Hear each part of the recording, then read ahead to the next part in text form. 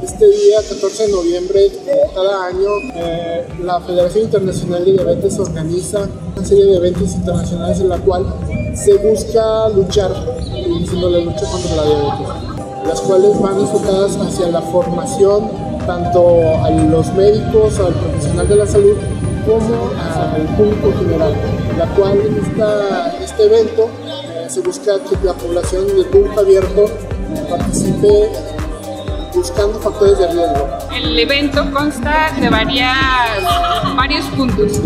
El inicial es el registro de todos los, ahora sí que está abierto a, la población general.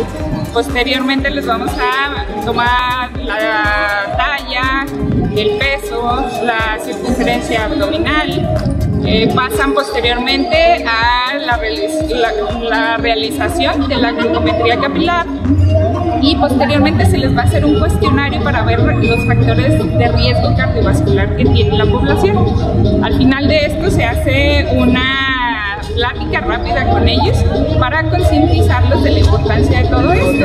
Eh, todos los chicos que están atrás eh, son alumnos del séptimo semestre de medicina humana están llevando la clase de endocrinología este, y es por eso que hacemos el evento hay una estadística en la cual el 50% de las personas que padecen diabetes no saben que lo, tienen. Lo, lo, descubren lo saben posterior de 5 años por lo regular, con complicaciones, se sabe que entonces estas actividades de, de, detención temprana son importantes para que la gente sepa que es, bueno, en una parte que están bien, si se detecta que todo está normal, o si hay factores de riesgo hacia algo para detectarlos y hacer modificaciones en las las actividades higiénico-sociales de, de, la, de, la, atención para la salud.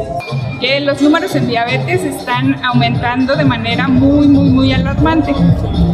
Si nos vamos a nivel nación, internacional, se decía que alrededor del 2014 las cifras en cuanto a diabetes en lo que es América del Norte y del Caribe eran 39 millones de personas con diabetes. Un año después, en 2015, ya eran 44.5 millones de personas con diabetes. ¿Cómo estamos en México?